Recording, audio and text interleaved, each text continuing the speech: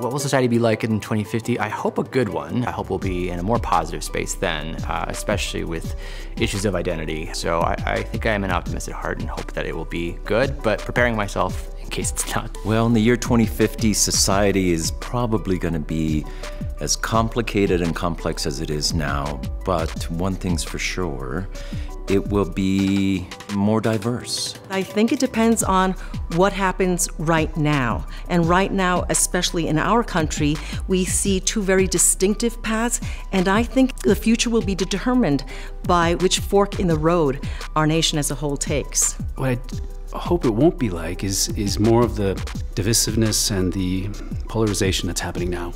I, I hope we're going to live in a society that's more inclusive, you know, that celebrates our differences. And hopefully there will be no walls that we have to contend with. I have a somewhat optimistic view of the future. I think that young people are always the strongest perpetrators of change and what we're seeing today is that younger generations are fighting so much more for equality among all marginalized groups and I think that that's going to continue and get stronger and they're just going to bring the rest of us along and we will have a much brighter, more diverse, and coexisting future. I feel like in 2050, it's the income inequality is going to be sort of insane.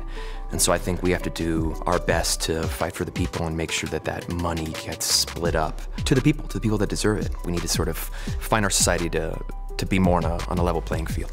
Given the current world that we live in, I'm a little less optimistic. Hopefully, future generations are looking out for the future that they want to build, and hopefully, we're going to see a lot of strength and empowerment for all people in this country.